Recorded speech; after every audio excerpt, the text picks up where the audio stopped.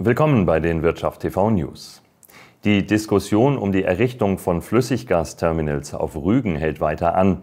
Jetzt hat sich der Wirtschaftswissenschaftler Christian von Hirschhausen kritisch zu den Plänen für ein LNG-Terminal auf Rügen geäußert. Der Bau zusätzlicher Anlagen und fester Terminals sei energiewirtschaftlich weder sinnvoll noch notwendig, sagte er im Rahmen einer Veranstaltung in Binz. Dies sei 2022 sinnvoll gewesen, aber die Situation habe sich entspannt und es sei keine Gasmangellage mehr zu befürchten.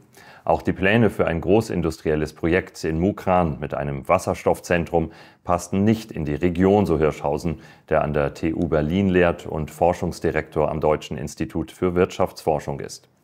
Bei der Veranstaltung in Binz machten sich mehrere Wissenschaftlerinnen und Wissenschaftler vor Ort ein Bild. Dabei stand auch eine Exkursion zum rund 15 Kilometer entfernten Fährhafen Mukran auf dem Programm. Dort will der Bund schnell ein LNG-Terminal errichten und dafür das LNG-Beschleunigungsgesetz anpassen. Kritiker fürchten wegen des geplanten Terminals um die Umwelt und den für die Insel wichtigen Tourismus.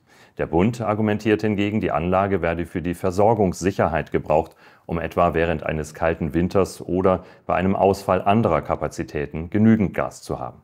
Das waren die Wirtschaft TV News. Bis zum nächsten Mal.